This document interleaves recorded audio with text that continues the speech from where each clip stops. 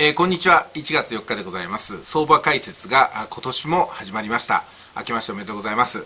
まあ4日になってね明けましておめでとうございますもうないもんなんですけども一応今日がですね FX の相場解説スタートなんでご挨拶させていただきました。今年もですね FX でしっかり稼いでいきましょう。ちょっと去年のことを振り返りますと私はですね目標としていた1000万ちょっといかなかったんですけどもいろいろと計算間違いありまして860万で、えー、最終着地でございました。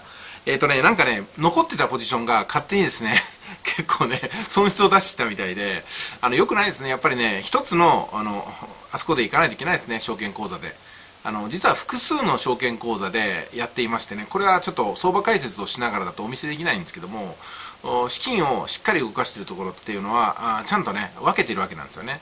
うん。まあ、ちょっとこれはね別の機会にまた申し上げますけども、えー、今日はですね、えー、去年と同じ証券口座 XM 証券の例のアカウントいつものアカウントでやりますんでその辺気にしなくて大丈夫なんですけども、えーと、去年の10月ですかねちょっと話変わりますけども10月から3ヶ月間行った FX の基礎講座。こちらの方ね大変好評いただきまして最後までねあの20名ぐらいの方がついてきてくれました。二十数名ですね。45名で参加してやっぱりねなかなか行き詰まる方とかあとなかなかね、えー、予定してた時間が取れなくってって方もいらっしゃると思うんですよ。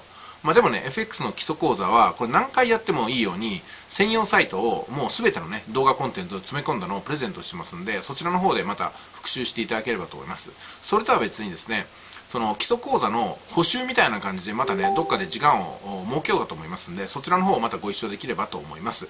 もちろんねこれ FX の基礎講座に参加した方はあまあ、とまあ、無料同然で同然っていうのがちょっとやらしいんですけどもすいませんけども数千円はいただくと思いますけども入場料をいただくようになります。それからあ新規で参加される方ね。新規でじゃあそういうことだったらその補修をですね補修から参加したいよって方は、まあ、それはそれでちょっと正規の料金をねいただくことになると思いますけども、まあ、こちらの方もご検討いただければと思います。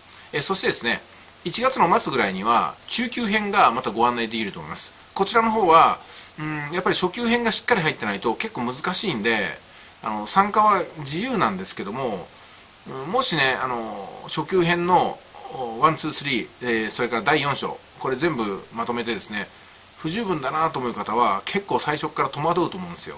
ただまあ今すぐ FX が理解できなくてもずっとやってるうちにね、え、初級編が網羅できれば多分中級編も使えていくんじゃないかなと思います。まあそういった形でちょっと今考えてますんでもうしばらくお待ちくださいね。ということで、えー、FX の相場解説始めていきます。画面を切り替えます。はいではいかがでしょうか。これがですねマンスリーですね。さすがに年足っていうのはやらなくてもいいでしょ。月足でございます。月足はもう分かりますよね。だいぶ前一昨年か3年ぐらい前から引いたこの赤い線がこういう風になってるんですけどもさらに角度を強めてこう売りの方向に行ってます。もうねお分かりだと思いますけども陰線しか出てないんですよもうほとんど。陽線もちょっと出てますけども陰線しか出てないような形になってますよね。移動平均線も下に向かって大きく開こうとしてます。ということでしばらくは円高基調が始まるというかね続くと思いますね。102円とかはすぐ行くんじゃないですかね。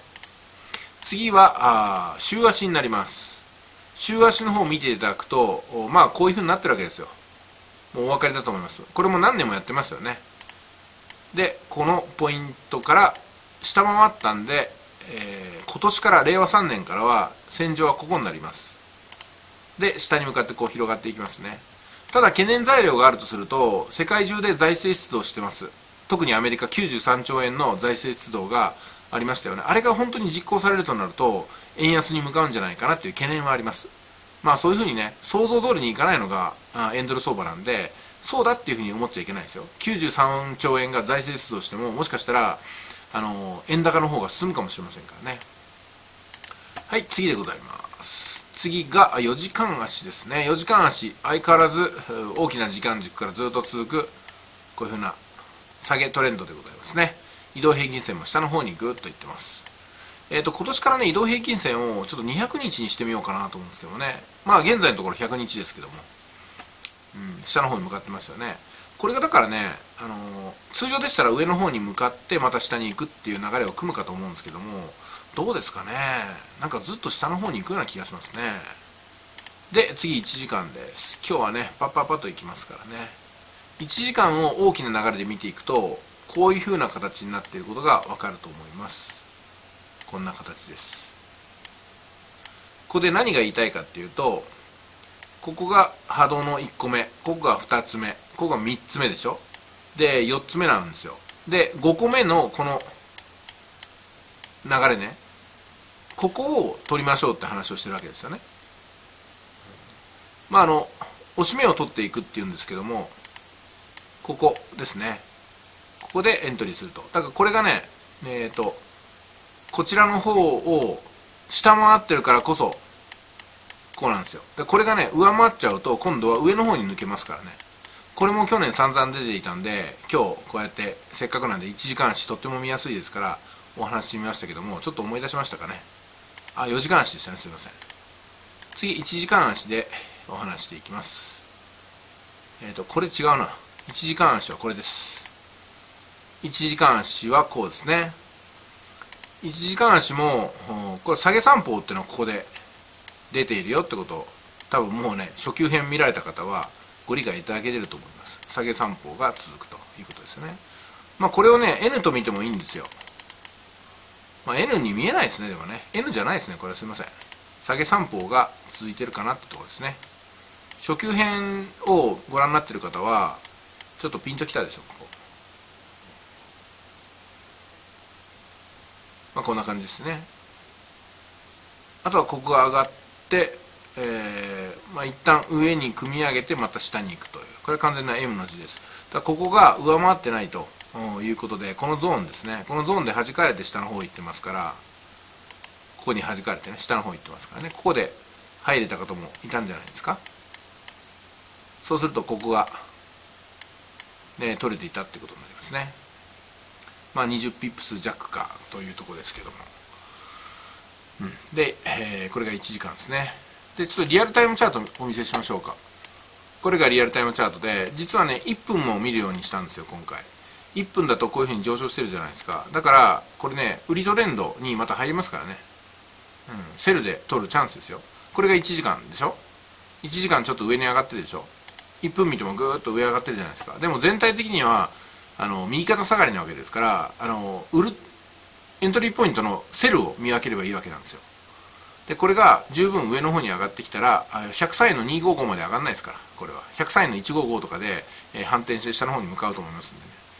まあそういうふうなとこ見ていけばいいんじゃないですかね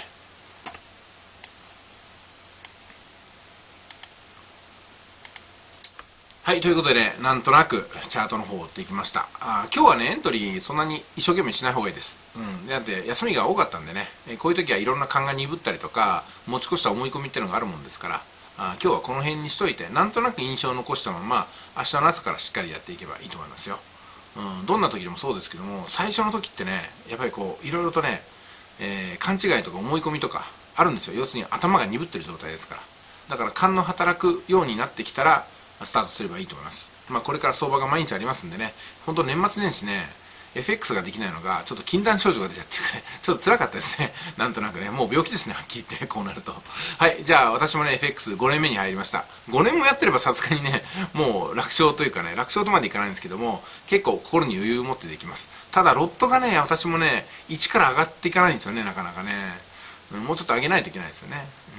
うん、まあ、追撃で、あの、ポジションを玉をたくさん持つってことはあるんですけども、いや、ロット自体を上げられないと、私の精神力もここで止まりなのかなと思っちゃうところが、あ今年の課題ですかね、うん、暗記実施精神。この3段階がありますけど私も精神にねぶち当たる時がやってきたってことでございます、うん、やっぱりね年間で1000万を超えるには精神の壁を越えないといけないかなっていうのが去年の1年間の総括ですね。皆さんは1年間どのように総括したでしょうか。それではこれからもよろしくお願いします。ではいってらっしゃい。